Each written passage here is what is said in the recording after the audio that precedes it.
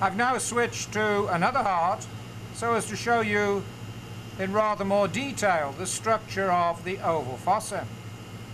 This heart, in fact, has an undivided anterior wall of the appendage, and if I reflect that, you can see much more nicely than the, in the previous heart the way that the pectinate muscles extend all the way around the atrioventricular junction, reaching down to the vestibule of the tricuspid valve. What we can also see in this heart is how the mouth of the inferior caval vein looks directly into the oval fossa. And as I turn the heart so that you can see the posterior surface of the right atrium, you can very nicely see how the oval fossa truly is a depression on its posterior wall with the superior caval vein above it, the inferior caval vein looking directly into it, and then the mouth of the coronary sinus inferior to the fossa itself.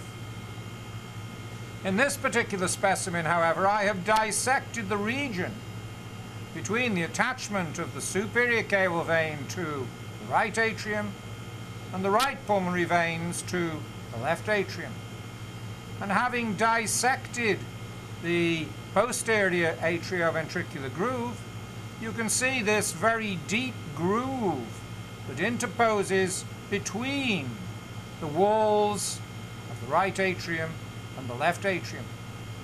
Oftentimes, this area in the roof of the oval fossa is described as the septum secundum, but having dissected into superior interatrial groove, you can see how it is no more than a deep groove between the atrial walls. This, of course, is of importance for the surgeon because the surgeon can make use of this deep groove so as to gain access to the roof of the left atrium. And this is the groove that is known as Sondergaard's groove or Waterston's groove, the superior interatrial groove. It should not be called the septum secundum. In fact, the true atrial septum is the floor of the oval fossa. In this particular instance, the floor of the oval fossa is separate from the rims so that we have probe patency of the oval foramen. I can show you that by opening up to, so that you can see the left side.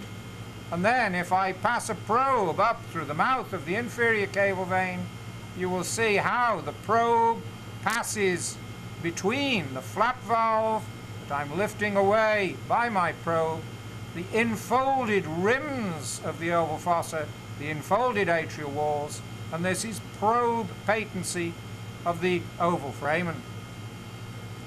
We also have another true septal area, which is this antero-inferior part. That becomes confluent with another important area, the triangle of Koch, but I'll show you that in yet another specimen.